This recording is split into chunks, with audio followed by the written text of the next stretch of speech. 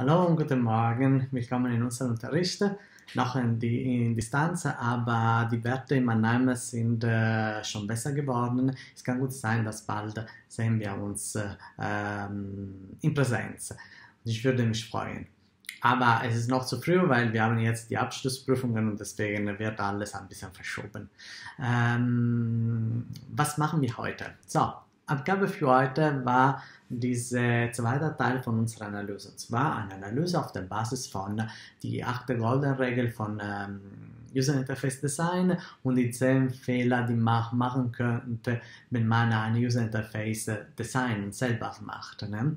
Und ähm, ich habe Zwischenstand nicht bekommen, ist auch kein großes Problem. Es kann sein, dass die Übung für euch so einfach und leicht ist, dass wir das nicht brauchen und das freue ich mich. So, ich sehe das nicht als Negativteil und ich will auch das nicht so ausdrücken. Äh, aber ich freue mich auf die Abgabe. Äh, und ähm, äh, wie gehen wir weiter? Heute gehen wir weiter mit einem sehr leichten Punkt, weil ihr habt äh, viel gearbeitet für diesen zweiten Punkt. Der dritte Punkt ist, dass wir machen einen Vergleich.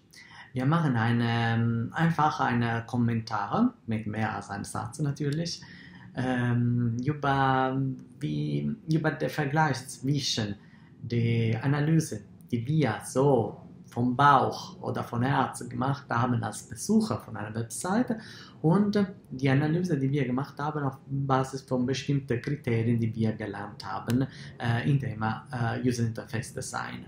Da müssen wir schauen, welcher ist der äh, Unterschied wenn man eine Webseite als Benutzer und wenn man eine Webseite als Designer sieht und deswegen sollte man auch äh, da ein bisschen äh, kritisch, kritisch sein über bestimmte Punkte, die ähm, wichtig sind äh, zu verstehen, welche ist dann ähm, die Unterschiede von der Sichtweise und äh, welche sind die Sachen, die vielleicht man als Designer nicht gemerkt hat, aber als Nutzer schon und umgekehrt. Also, äh, die Abgabe, die gibt es für nächste Woche, sehr klein. Es ist äh, nur ein kleiner Text, kleiner oder längerer Text, aber mit den richtigen Punkten äh, betrachtet, in dem wir sprechen über diesen Vergleich. Nichts mehr, nichts weniger.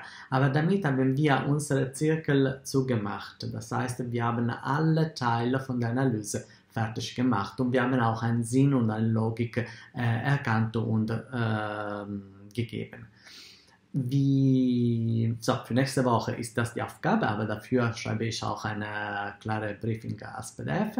Und dann äh, gehen wir weiter in der Gestaltung. Wir arbeiten noch nicht mit neuer Software, wir werden arbeiten mit Software wie InDesign, Photoshop, Illustrator, die wir schon kennen. Und möglicherweise, wenn wir wieder zurück in die Schule sind, falls die Situation so bleibt oder noch vielleicht besser ist, werden wir arbeiten dann in einem anderen Bereich vom Webdesign, und zwar Animationen für Web. Gut, aber mh, mm, bleiben wir bei heute, bleiben wir bei nächster Woche und wir sehen uns später in Online Campus, um eure Frage zu beantworten.